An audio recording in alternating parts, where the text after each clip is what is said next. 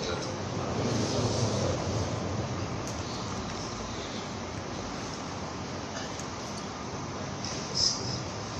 الله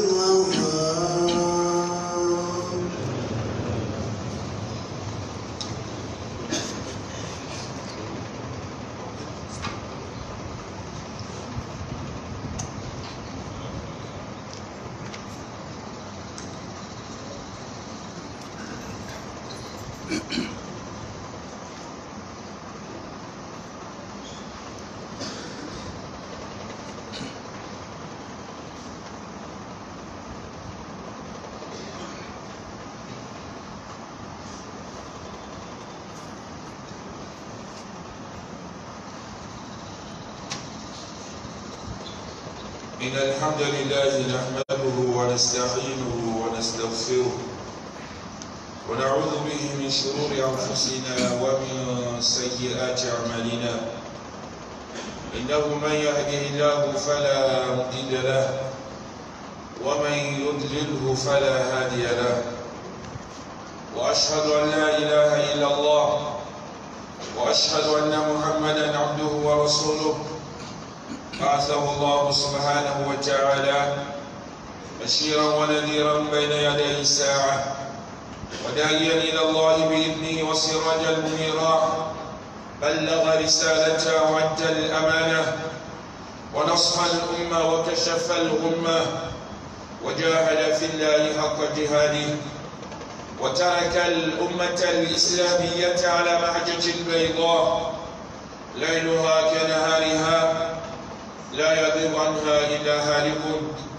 صلوات ربي وسلامه عليه وعلى آله وأصحابه وعلى كل من ولاهم إلى يوم الدين. أما بعد اتقوا الله عباد الله واعلموا أن من اتقاه وقاه وأرشده إلى نهج القويم.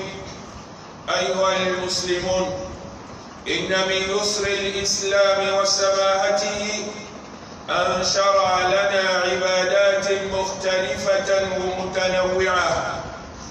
فمن العبادات ما يستطيع المسلم أداءها في جميع أوقاته وحالاته قياما وقعودا وعلى جنبه. فهذه العبادة هو ذكر الله عز وجل. يقول الله سبحانه وتعالى إن في خلق السماوات والأرض واختلاف الليل والنهار لآيات لأولي الألباب الذين يذكرون الله قياما وقعودا وعلى جنوبهم.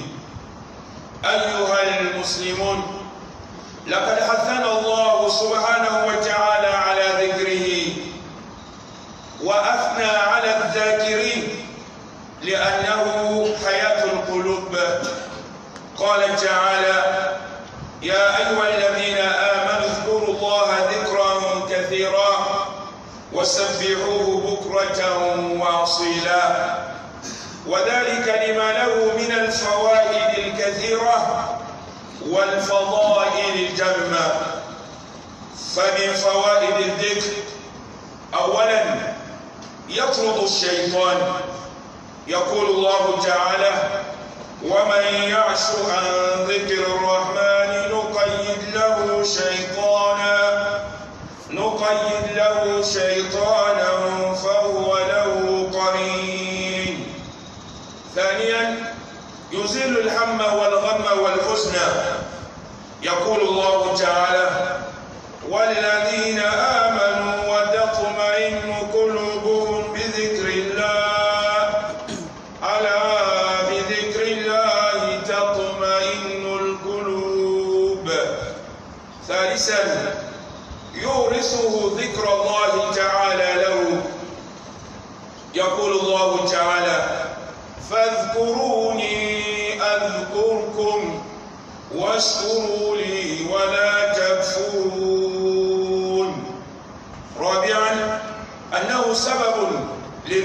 السكينة وغشيان الرحمة وحفوف الملائكة. قال صلى الله عليه وسلم لا يطرد قوم يذكرون الله عز وجل إلا حفتهم الملائكة وغشيتهم الرحمة ونزلت عليهم السكينة وذكرهم الله في من عنده. خامسا يعين على التمسك بشرع الله تعالى. وفي الحديث أن رجلا قال لرسول الله صلى الله عليه وسلم يا رسول الله إن شرائع الإسلام قد كثرت عليها قد كثرت علي فأخبرني بشيء أتشبث به. قال صلى الله عليه وسلم لا يزال لسانك رطبا من ذكر الله. سادسا يطلب الرزق. وقد ورد في الحديث من لزم الاستغفار جعل الله له من كل ضيق مخرجا ومن كل هم فرجا ورزقه من حيث لا يحتسب. أيها المسلمون هذه بعض فضائل الذكر. فعلى المسلم أن يكثر من ذكر الله تعالى في أوقاته وبالأخص في شهر رمضان المبارك موسم البركات والخيرات ونزول رحمات أيها المسلمون لنيل هذه الفضائل يجب أن يكون الذكر باللسان والقلب معا لا باللسان فقط. وأن يكون موافقا لما ورد عن النبي صلى الله عليه وسلم لأنه نبي مرسل ومبلغ عن الله تعالى. قال صلى الله عليه وسلم من أحدث في أمرنا هذا ما ليس منه فهو رد. أقول قولي هذا وأستغفر الله لي ولكم ولكافة المسلمين من كل ذنب وخطيئة واستغفروه إنه كان للأوابين غفورا Allah Ja'ala, le Seigneur de l'univers, la paix et la bénédiction soient sur les messagers, sa famille et ses compagnons, et tous ceux qui les silence leur donner la rétribution. Craignez Allah, chers frères musulmans, sache que quiconque va observer la crainte d'Allah, qui sera protégé par Allah subhanahu wa ta'ala et qui sera guidé vers le chemin droit. Sachez, chers frères musulmans, qu'il fait partie de la facilité de la religion islamique la légifération des plusieurs sortes de l'adoration. Dans notre religion, il y a plusieurs sortes de l'adoration. Il fait partie de l'adoration que Allah nous a légiférée, l'adoration que le musulman peut le faire dans n'importe quel moment, dans n'importe quel état il se trouve.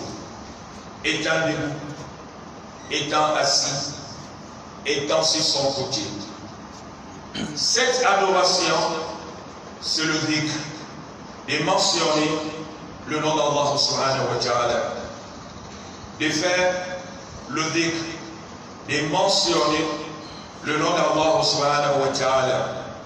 Allah très dans le Saint-Coran qu'il y a dans la création du ciel et de la terre et l'alternance de la nuit et des jours les preuves palpables pour les gens doués en connaissance. Puis il a cité leur comportement.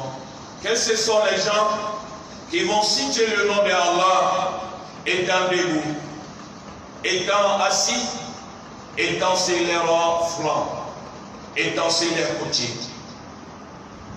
Chers frères musulmans, sachez que Allah nous a exhortés de mentionner son nom.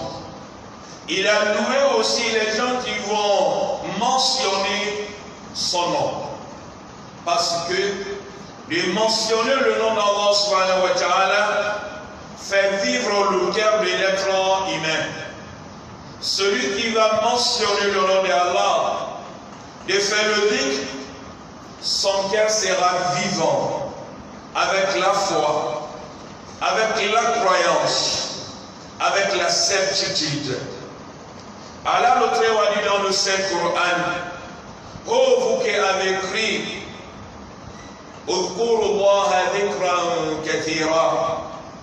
Mentionnez le nom d'Allah plusieurs fois. Multipliez de mentionner le nom d'Allah subhanahu. Dans ce verset, Allah nous a exhorté de multiplier, de mentionner son nom beaucoup. À cause les avantages, les profits qui se trouvent dedans. Oui, celui qui fait le celui qui va mentionner le nom d'Allah, qui va gagner les avantages, qui va gagner des profits. Il fait partie de ces profits-là, premièrement, le Satan sera éloigné de toi, écarté, éloigné. Oui, celui qui fait dhikr, celui qui va mentionner le nom d'Allah, le Satan sera éloigné, écarté de toi. Le Satan ne peut jamais te rapprocher. Allah le très dit dans le Saint-Coran, celui qui va oublier, celui qui va négliger de mentionner le nom d'Allah subhanahu wa ta'ala,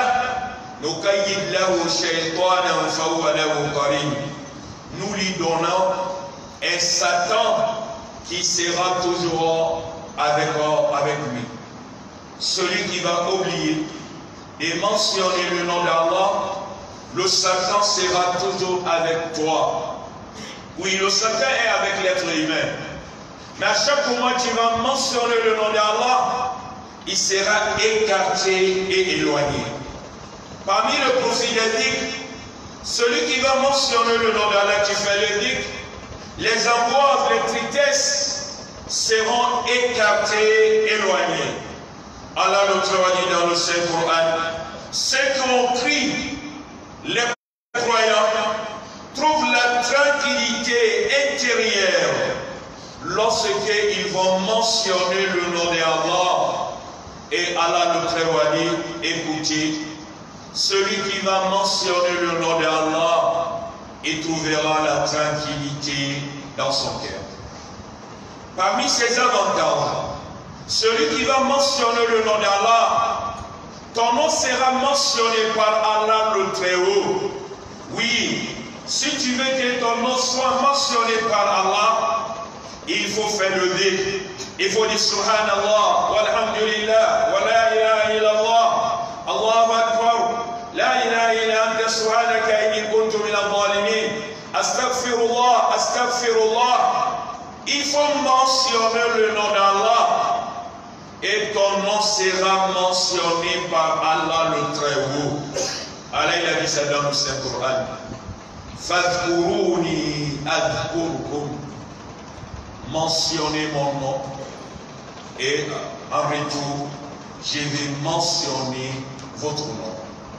Oui, lorsque tu vas mentionner le nom d'Allah, ton nom sera mentionné par Allah le Très-Haut? Il fait partie de ses avantages encore. Celui qui fait le zikr, ou bien le zikr de mentionner le nom d'Allah, c'est une cause pour que la tranquillité va descendre, pour que la miséricorde va te couvrir, pour que tu seras entouré avec les anges.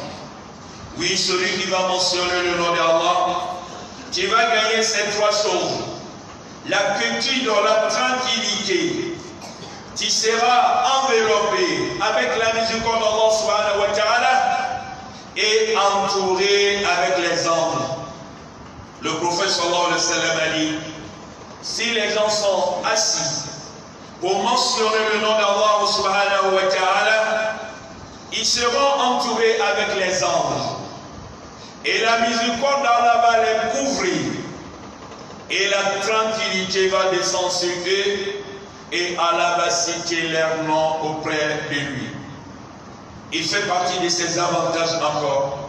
Celui qui fait les rites beaucoup, celui qui va mentionner le nom d'Allah beaucoup, cela va t'aider de suivre la législation légiférée par Allah.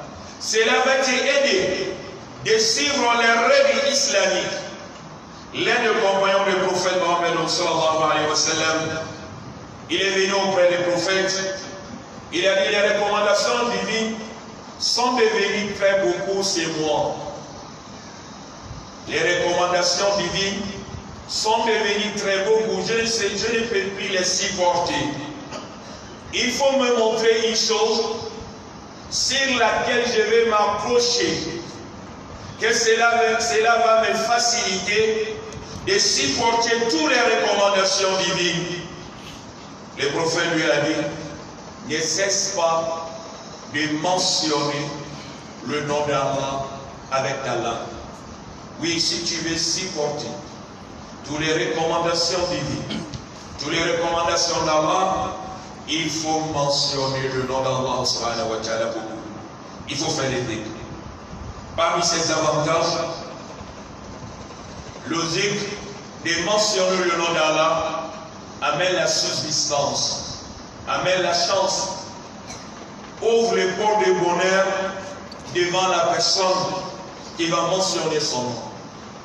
Dans le hadith, le prophète sallallahu a dit celui qui va dire Astaghfirullah, de demander le pardon à Allah subhanahu toutes les difficultés qui se trouvent dedans, Allah va lui donner une porte favorable. Et tous les angoisses qui se trouvent dedans, Allah va lui délivrer. Et aussi, Allah va lui donner la subsistance sur le chemin qui ne le pense pas. Sur le chemin qui ne pense pas, Allah va lui donner la subsistance, le bonheur sur le chemin qui ne pense pas. C'est là où on est mentionné le nom d'Allah. C'est là et parmi les moyens que l'être humain va gagner la subsistance. Il va gagner le bonheur. il va gagner le bien de la vie de ses mamans. Chers frères musulmans, voilà certains avantages des écrits. Voilà certains avantages pour celui qui va mentionner le nom d'Allah. C'est pour cela, il est obligatoire sur les musulmans de mentionner le nom d'Allah dans tous les moments, de faire les dans tous les moments, précisément dans le mois de Ramadan, le mois béni, le mois du bonheur, le mois dans lequel la miséricorde d'Allah.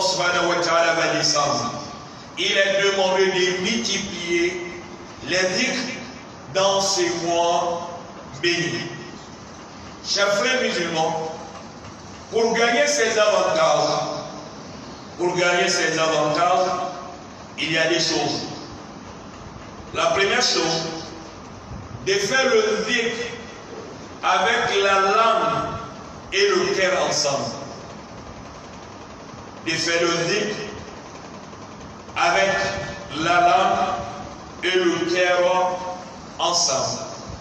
Si tu dis Subhanallah, la langue en train de prononcer et le cœur est avec toi. Subhanallah, Alhamdulillah, purité à Allah, louange à Allah. Lorsque la langue prononce, le cœur est avec la langue. Mais si tu fais le dire Subhanallah, Subhanallah, le cœur se trouve dans un autre, coin, il n'y a pas, tu ne gagneras jamais ses profits, ses avantages. On gagne ses profits, ses avantages dès que concentré. Même il faut essayer aujourd'hui, après la prière de Jumala. Le Subhanallah, walhamdulillah, Allah Akbar, que nous faisons 33 fois, que nous faisons 33 fois, il faut le faire étant concentré. Il faut essayer. Après cette prière-là, tu vas trouver la différence. Si lorsque de soir soir là, soir là, soir là, soir là, soir là. Mais si tu as fait réellement subhanallah, subhanallah, subhanallah, subhanallah, la langue en train de prononcer et le cœur est avec la langue, il faut regarder ce qu'il va te donner aujourd'hui. Pour gagner ces avantages, il faut faire les dhikr avec la langue et le cœur. La deuxième chose, il faut que le dhikr soit conforme. Il faut que le dhikr soit conforme à ce que le prophète nous a légiféré. Si tu fais le dhikr, il faut suivre le chemin tracé par le prophète. Il faut suivre le chemin tracé par le prophète. Ce que le prophète nous a défini, nous a déterminé. Ce que le prophète nous a cité, ses avantages. Il faut que caramponner sur cela. Pourquoi? Parce que c'est un messager. Pourquoi? Parce que Allah lui a envoyé pour transmettre son, pour transmettre son message. Allah lui a envoyé pour ça. C'est cela, si tu as envie d'adorer Allah, de gagner ses avantages, il est demandé sur le prophète Mohammed sallallahu alayhi wa. Si tu es en train de faire dit que c'est telle personne m'a donné, c'est tel qui m'a donné, c'est telle personne qui m'a donné, ce n'est pas le prophète Mohammed alayhi wa sallam, sache que tu ne gagneras jamais ses avantages. Le prophète a cité tous ces zikrs-là, ses compagnons, tous ces zikrs-là à ses compagnons, et de le demander de faire. Le prophète n'est pas précisé certains parmi eux. Certains parmi ces zikrs-là, de dire voilà, ça c'est pour quel groupe? Ça c'est pour quel groupe? Non. Oh bien tu ne peux pas faire le rythme, sauf un chèque va te donner, sauf un wali va te donner. Non, cela ne se trouve pas dans notre religion. Si tu veux réellement de gagner le profit Dans ces zikrs, il faut faire la manière que le prophète nous a légiféré. Si tu fais la ilaha illallah dedans, il faut faire parce que le prophète sallallahu alayhi wa sallam nous a légiféré cela. Nous a cité ses avantages. Mais si toi tu le fais, sans suivre le prophète, sans suivre le prophète Mohammed alayhi wa tu le fais en te basant sur la parole d'une autre personne, en dehors du prophète Mohammed sallallahu de nous mettre parmi les gens qui vont suivre la tradition de notre prophète Mohammed dans tout ce qui